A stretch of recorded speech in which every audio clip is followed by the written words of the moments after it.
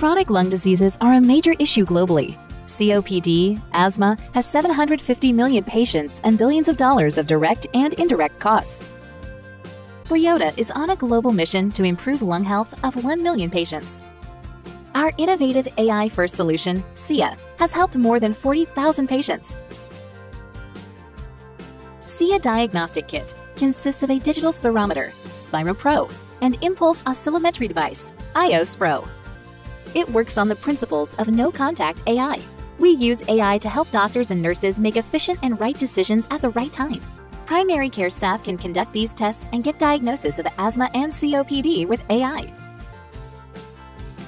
Our devices are highly affordable. They are designed and manufactured in India.